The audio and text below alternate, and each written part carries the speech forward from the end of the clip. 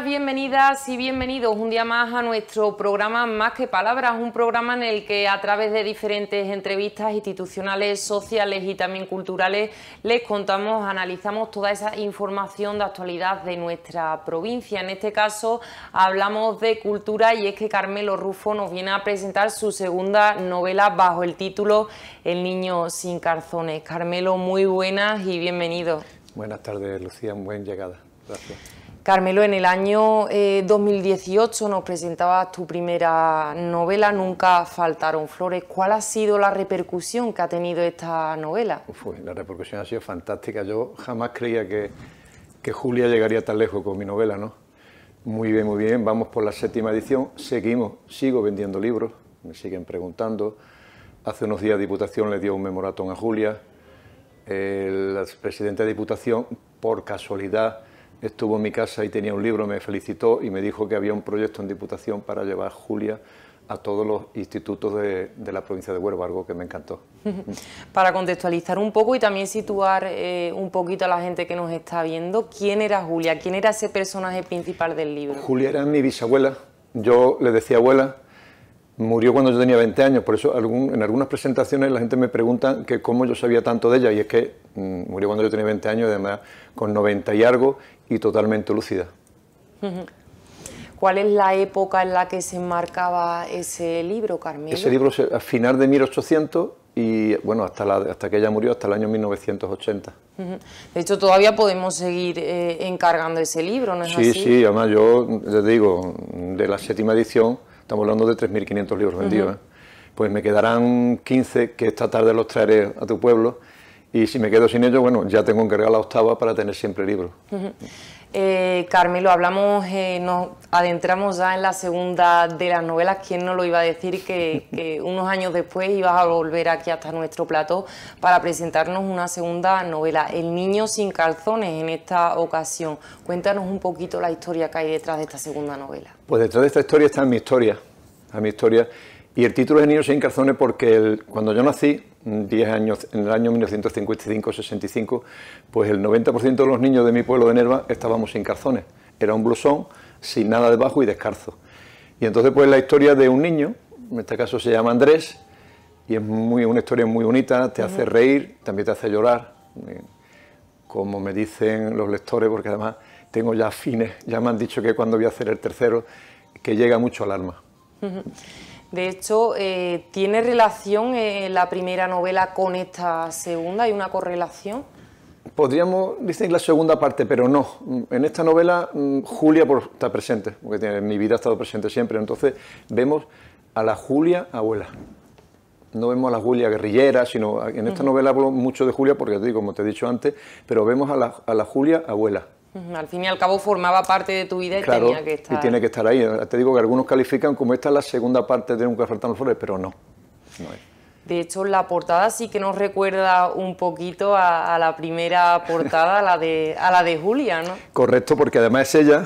Eh, tengo un amigo, un amigo de pintor, José Pernisoto, está en Barcelona, muy amigo mío, y le dije, Pepe, ¿por qué no me haces una portada?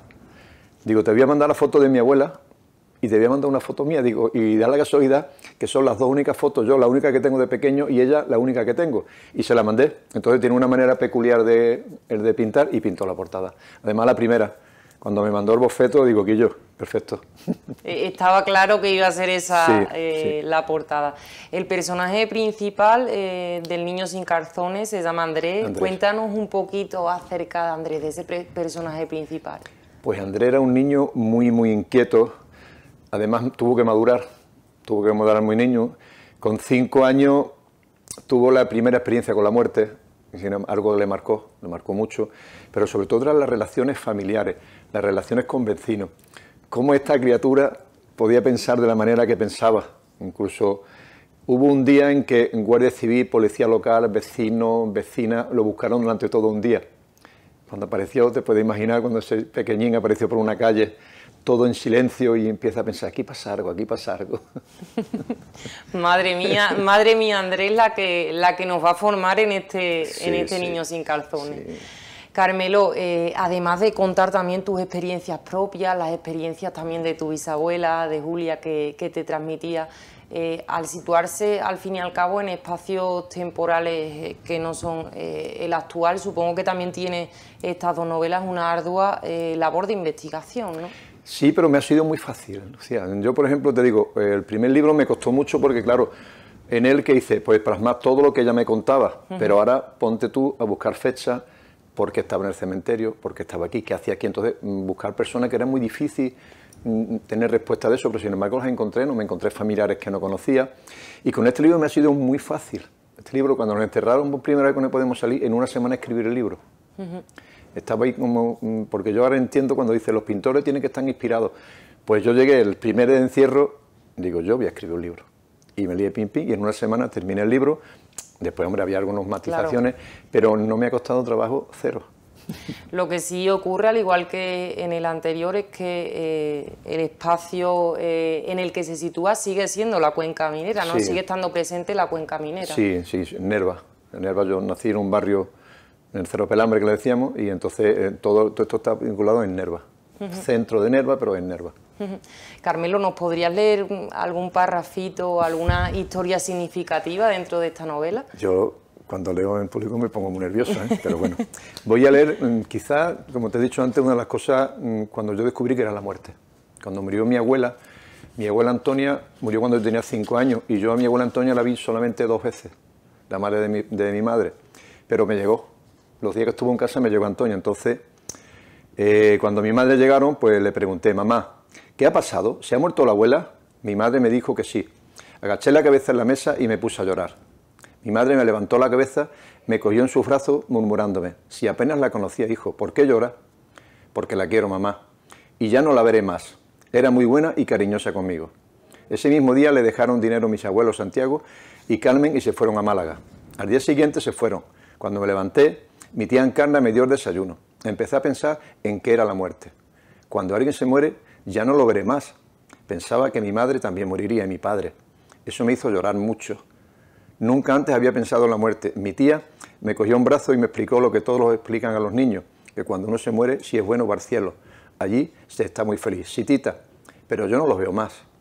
Pero aunque no los vea, siempre están a nuestro lado cuidándonos. Pero yo no noto que mi abuela esté aquí, a mi lado, tita. Venga y vámonos que te llevo a la puerta de la escuela.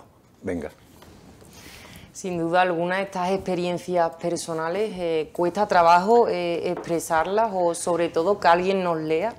Mm, hombre, cuando leo sí me emociono, me emociono. Además, mm, siempre vuelvo a comparar, ¿no? Por ejemplo, Nunca faltan los flores, yo no lo he leído.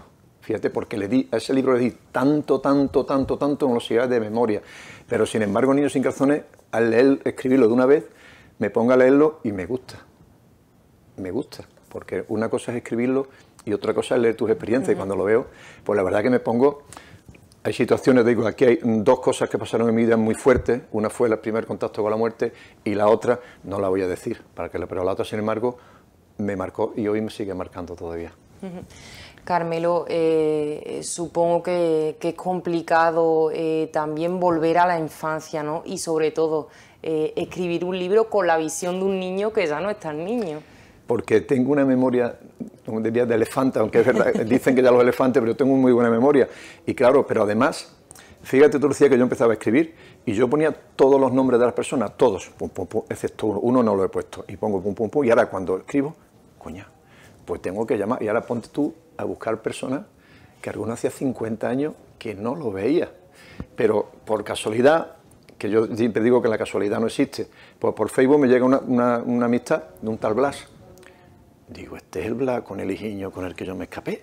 Total, contacto con él por teléfono. Oye, Blas, mira que estoy escribiendo un libro tal y cual. ¿Tú eres Blas? Dice, sí, que eres el amigo de Eugenio, sí. De Higiño. Digo, oye, mira que estoy escribiendo un libro. No, no, por favor. Digo, pero a Higiño no sé dónde está. ¿Tú me puedes dar el teléfono de Higiño? Total, me dio un contacto y hablé con ese Higiño. Ese Higiño, cuando yo estaba, yo tenía 5 años y este Higiño podía tener 18. Pues Higiño tenía ya cerca de 80 años. Yo estuve hablando con un anciano, pero ese anciano me llenó el alma no me diga que tú eres el Carmelillo. Digo, sí, Quiño, y estoy escribiendo el libro que te acordará de la aventura de la Ribera. Eso no se me va a olvidar. Digo, pues, ¿a ti te importa que ponga tu nombre? Y me dijo que no, que encantado. Y como eso, pues, con muchos personajes, otros que habían muerto, pues llama al hijo, oye, mira, que voy a hablar de tu madre, tu padre, ¿te importa? No, no, por favor.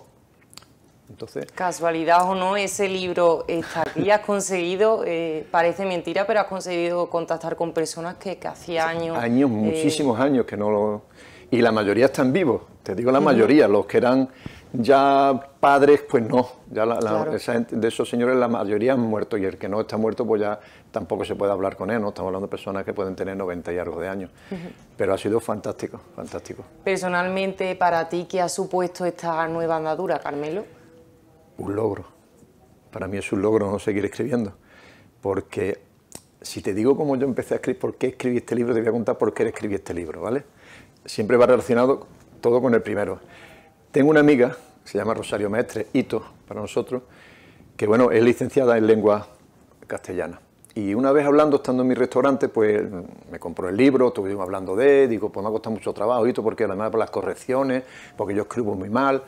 Y ella me dijo, dice, oye, pues yo si creo, te lo puedo corregir yo el día que escribas otro libro. Y le di mi libro, Nunca faltan los flores, y le dije, pero por favor, cuando lo lea, sé sincera, ¿cómo está el libro? Total, la volví a ver a los tres o cuatro meses, porque yo trabajaba en Sevilla, la veo, viene, me da 14 besos, 12 mil abrazos, y yo era el libro, bueno, pero ¿y el libro? ¿Cómo está el libro? Y ella me dice, me da igual, Carmelo. Pero, ¿tienes falta?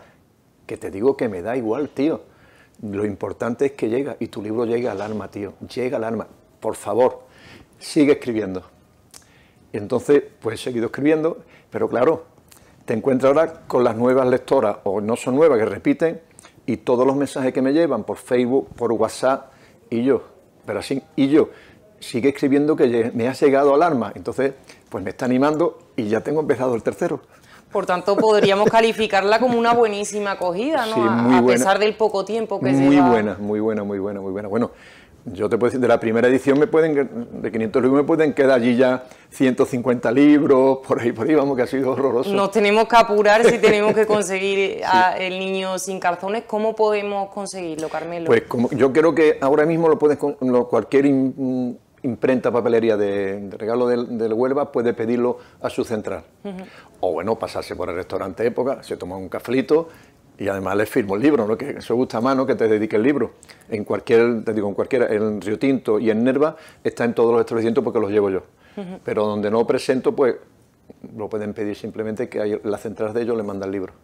Carmelo, y antes de despedirnos, me gustaría hablar de futuro porque ya me has adelantado un poquito, estás preparando ya el tercer libro. Yo creo que esto es un paso muy importante, ¿no? Se supone que el tercero es el que consagra.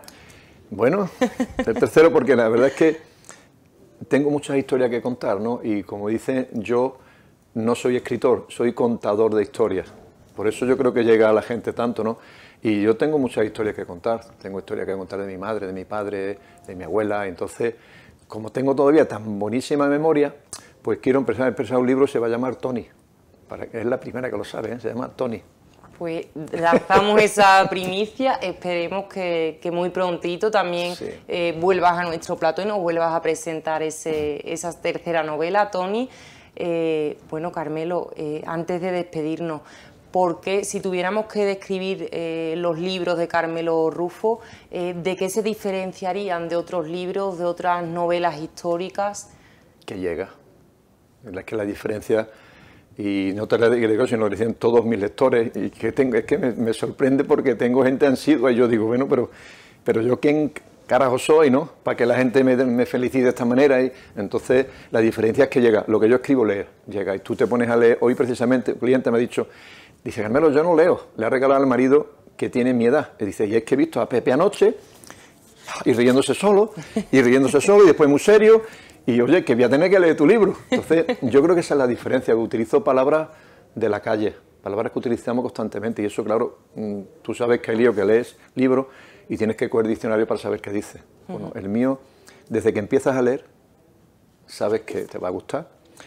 Y tengo que agradecerlo, tengo que decir, porque hay personas que han hecho posible este libro y me, además todas en el libro vienen poesía que la han escrito amigos míos y amigas. Entonces tengo que dar a Rosario Maestre, que me ha escrito el prólogo, Alfonso Pedro, que es un escritor, me ha escrito mi prólogo, Manuel Palomo, Benito Domínguez, Juan Ramos, Lorenzo Adama, Adame y José Luis Penisoto.